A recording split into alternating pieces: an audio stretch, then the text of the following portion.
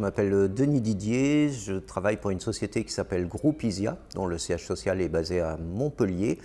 Et euh, le groupe ISIA est un acteur du numérique spécialisé dans les enjeux autour du numérique responsable depuis euh, quelques années.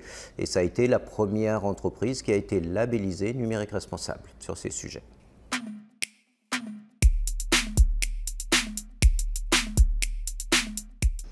Alors, euh, la conception de, formation, ce n'est pas quelque chose qui est euh, une fonction euh, informatique très, très technique. On ne va pas parler à des techniciens de l'informatique. ce ne sont pas eux qui construisent en fait ces, outils de, formation et qui produisent les, contenus.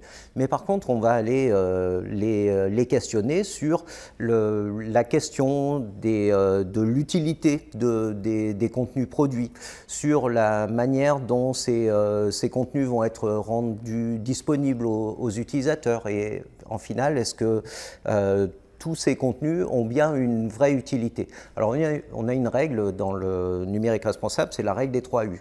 Il faut que ce soit utile, il faut que ce soit utilisable, il faut que ce soit utilisé. Quand on a euh, répondu à ces trois questions de façon positive, on sait qu'on est dans une démarche de sobriété et compatible avec une, démarche numérique responsable.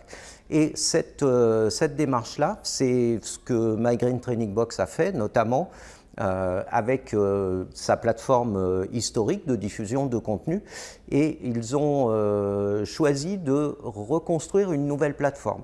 Et pour que cette plateforme soit complètement alignée avec les, principes du numérique responsable, ils ont choisi de faire une conception qui respecte tous les enjeux du numérique responsable pour, que pour réduire les, impacts sur l'utilisation et rendre les, euh, les ressources de formation les plus accessibles possibles à tout le monde.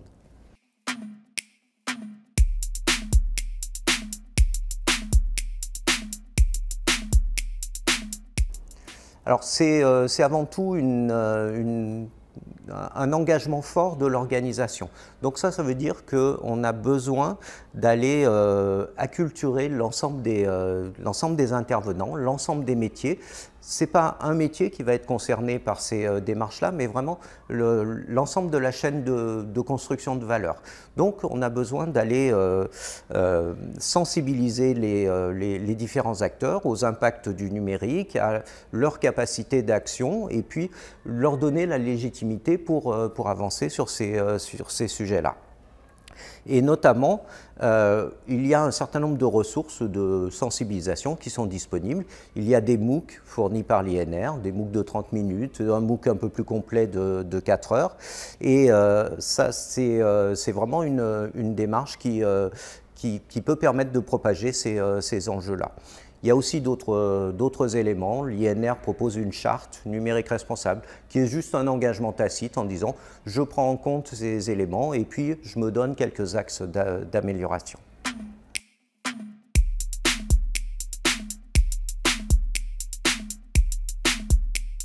Alors, qui est impliqué J'allais dire euh, tout le monde. Et ça commence par vraiment la gouvernance de l'entreprise. Parce que c'est une, démarche structurante et il faut vraiment que ce soit une stratégie globale qui soit déployée dans l'organisation. Ce n'est pas qu'une démarche qui va concerner des techniciens, euh, notamment des techniciens informatiques. On va aussi bien aller chercher des euh, designers, des gens qui font du marketing, des gens qui produisent du contenu, y compris des euh, contenus de formation. On va aller euh, les, embarquer sur ces sujets-là pour qu'ils puissent produire des, éléments qui soient sobres, utiles, utilisables, utilisés. On revient toujours au même, au même sujet.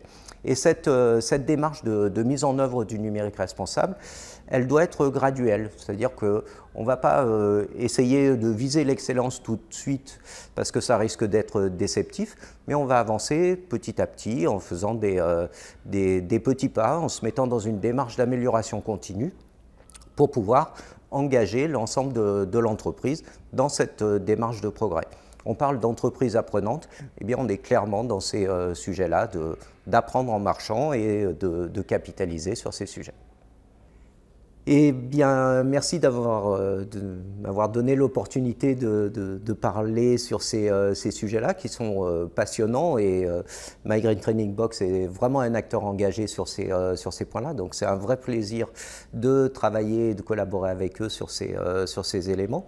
Et eh bien, on va tous faire en sorte pour que le numérique soit soutenable, éthique et qu'on puisse continuer à l'utiliser dans le temps. Je vous remercie de votre attention.